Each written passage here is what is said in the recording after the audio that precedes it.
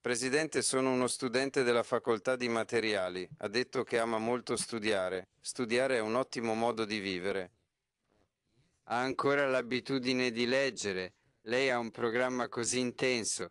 Riesce a leggere libri, opere letterarie. E chi tra gli scrittori ha avuto su di lei la maggiore influenza? Grazie. Mi piacerebbe tanto dire, sono così istruito, ho sviluppato un tale stereotipo, leggere continuamente.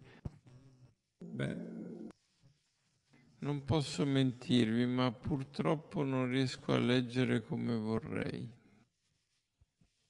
Ma ho dei libri sul comodino accanto al letto e a volte li apro. E davvero quando riesco a farlo lo faccio con piacere. Per quanto riguarda l'influenza della letteratura sulla formazione della persona, certamente è uno dei fattori principali. In ogni caso, negli anni scolastici il sistema sovietico aveva i suoi vantaggi. Noi ovviamente siamo tutti cresciuti, la gente della mia generazione siamo cresciuti con i classici russi, veramente devo dire onestamente che alcune cose che si studiavano a scuola, almeno prima, il giovane non era pronto per alcune cose. Solo dopo, rileggendo alcune cose, rileggendo alcuni libri, inizi a capirli,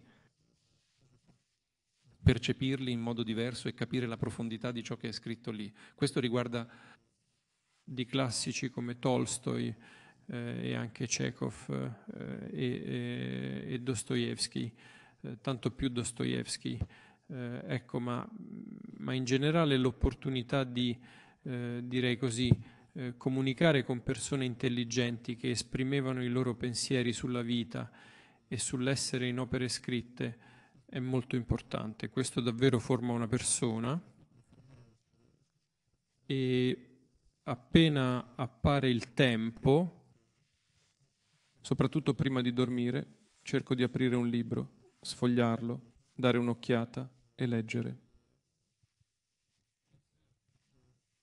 Infatti i portatori cambiano. Una volta scrivevano, in Russia scrivevano Berestia da Betulla, corteccia di betulla.